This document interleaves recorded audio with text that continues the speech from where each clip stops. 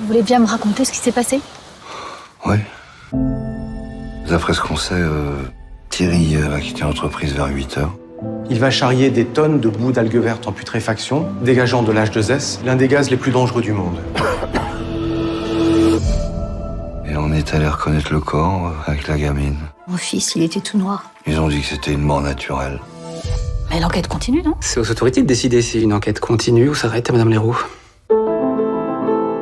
Bonjour, je suis journaliste et je fais des reportages sur la Bretagne. Je vous appelle au sujet des algues vertes. Et c'est à cause de l'agriculture, c'est ça? C'est ce que je voudrais savoir. Je suis désolée, mais ça va pas être possible. Ils font tout pour pas me parler. Dès que tu t'approches des algues vertes, ça pue dans tous les sens du terme. Je pense même que ça peut être dangereux. Vous avisez pas à foutre par terre notre belle région. Si je tombe mal. euh, Tu tomberas toujours mal. Vous êtes comme qui dirait la femme à abattre. Vous savez, tout le monde a peur dans cette affaire. Faut comprendre qu'ici, chaque famille a quelqu'un qui travaille dans l'agro. Vous, la FNSEA, c'est vous qui choisissez les ministres de l'Agriculture? C'est pour ça que les agriculteurs nous élisent. Vous savez ce que c'est la vraie violence? C'est le prix du lait. 30 centimes le litre depuis 30 ans. Tes reportages, ils font trop de remous. Les écolos vont encore nous faire chier.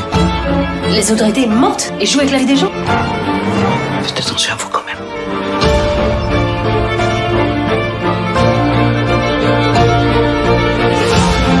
Nous sommes en guerre, Madame Léraud. C'est une vraie et grande guerre économique. Vous soyez vigilants un jour ou l'autre. Vous les aurez face à face, les yeux dans les yeux, les victimes de votre guerre.